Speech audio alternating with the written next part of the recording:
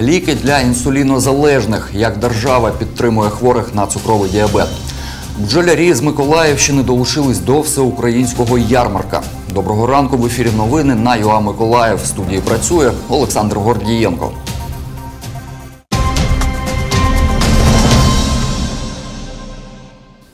На Миколаївщині 40 тисяч людей хворіють на цукровий діабет. Із них 5 тисяч інсулінозалежні. Як саме держава підтримує таких людей та чи вистачає виділених грошей на необхідні препарати? Дивіться далі у сюжеті. Юлія Вітошинська хворіє на цукровий діабет першого типу вже 20 років. Дівчина не може жити без інсуліну.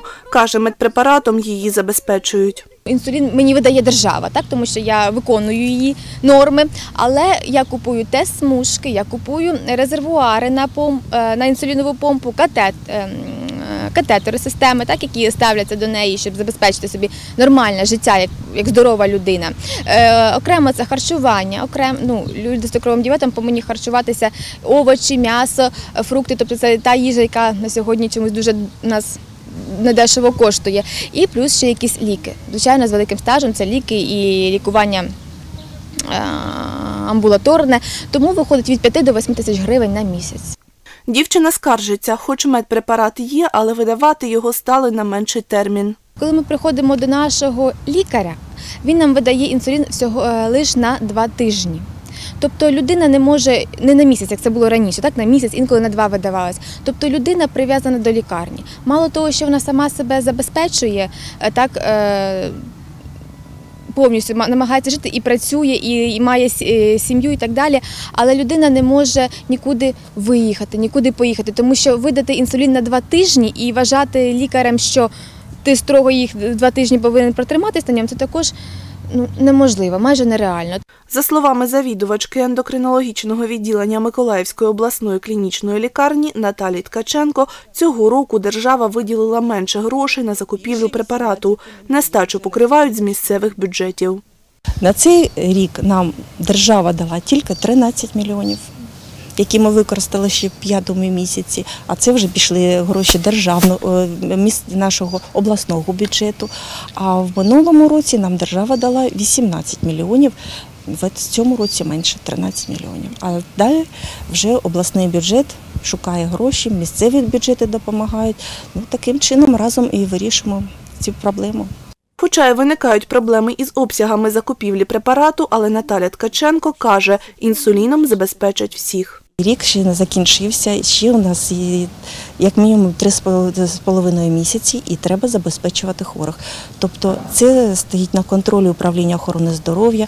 Вони постійно моніторять, яке йде забезпечення, скільки коштів використано, скільки хворих отримали, в якому районі це дивляться в розрізі районів. І там, де йде нестача коштів, вирішується питання, як забезпечити. Вікторія Чернявська, Сергій Куропятник. Новини на Суспільному. Миколаїв. Свято меду у Національному музеї народної архітектури та побуту. Його провели напередодні Маковія. На ярмарку представили різні види меду. Його можна було скуштувати і придбати.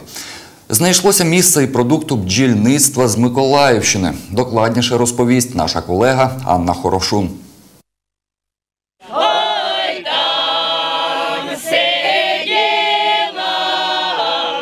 На святу меду відвідувачів розважає народний колектив з Білої церкви Родинонька.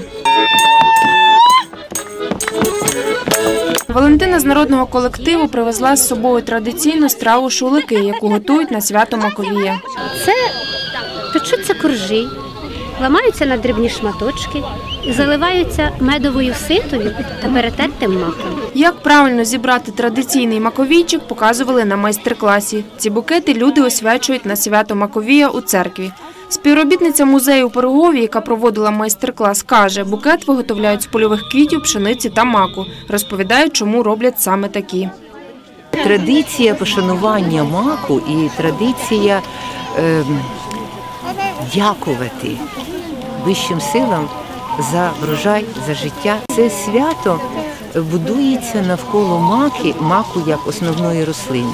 Маку е, як рослини, яка має дивовижні абсолютно якості. Мак з усіх рослин на світі має найбільшу кількість насіння. На свято меду приїхали пасічники з різних областей України. Дмитро разом з двома братами має власний бізнес. Назвали себе медові брати. Дмитро живе в Києві, проте основна пасіка на Миколаївщині. Крім того, є вулики в Черкаській, Хмельницькій та Одеській областях. Бізнесом займаються понад три роки. Дмитро віддає перевагу виготовленню меду з нестандартним смаком. Каже, мають мед з маком, проте роблять такого небагато. Наприклад, весняне різнотрав'я він набагато складніший, він багатогранний, в ньому можна шукати відтінки. Сьогодні ви в ньому відчуєте одне, завтра ви в ньому відчуєте щось інше. І він з часом буде розвиватися. Акацієвий мед він простий, ви його спробували і тут же про нього забули. Тобто він дуже-дуже простий. Анатолій з Гусятина, що на Тернопільщині, вже майже рік як створив у своєму місті кооператив бджільництва «Медобори». Він розповідає, для чого об'єдналися 28 пасічників Тернопільщини.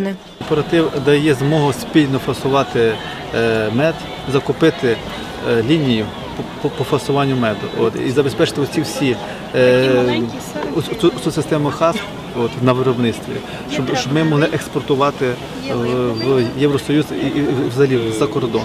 За словами співорганізаторки заходу Анастасії Колодюк, на свято меду прийшло більше трьох тисяч відвідувачів. І поки це все, побачимось через півгодини.